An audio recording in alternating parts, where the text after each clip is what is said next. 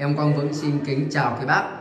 Hôm nay xin giới thiệu đến bác một chiếc đồng hồ Kenizer được nhập nguyên chiếc từ nước Đức về.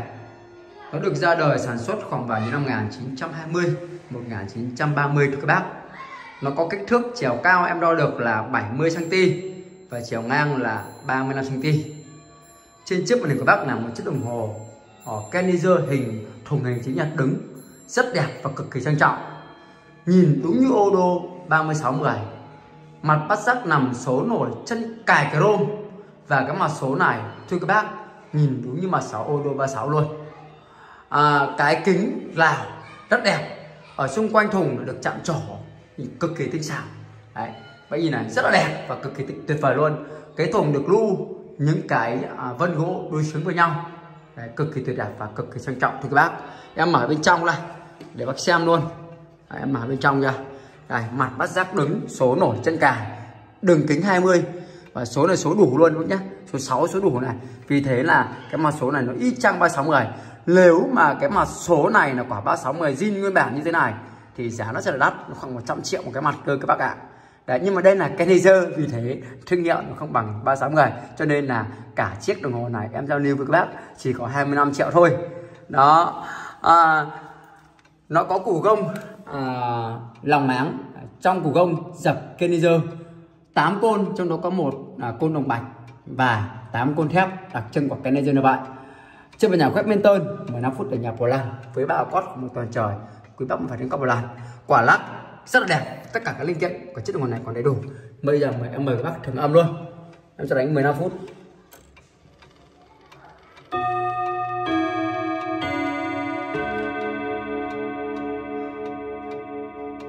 Tuyệt vời ạ. Tiếp tục 3 phút.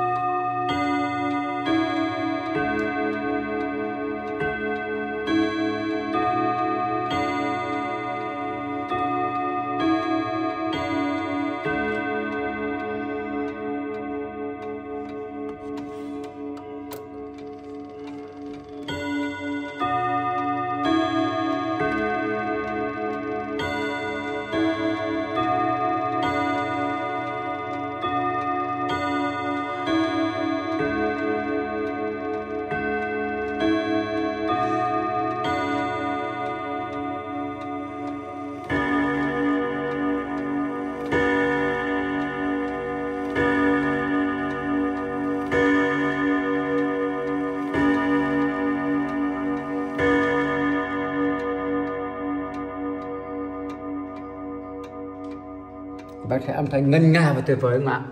Và cái chiếc vỏ thùng này thì à, chúng ta có thể nắp được cho ô đô à, 360 hoặc 368 ok. Vì cái vỏ nó đúng như dòng ô đô luôn rất đẹp và cực kỳ tuyệt vời. Và đây là chiếc đồng hồ ô đô à, chiếc đồng hồ Kenizer sản xuất tại Đức à, xuất sang đến nước pháp. Bạn thấy à, à, nó có chiều cao nó được là 70 cm chiều ngang 35 cm em để cái mã là 1775 và xin giao lưu là 25 triệu. Bác nào yêu thích chiếc đồng hồ này xin gọi cho em đồng hồ cổ Quang Vững. Xin cảm ơn và xin hẹn gặp lại các bác ở đồng hồ cổ Quang Vững. Bộ máy của nó thì rất là vàng đẹp, nhà đã vừa soi. Xin hẹn gặp lại các bác ở đồng hồ cổ Quang Vững.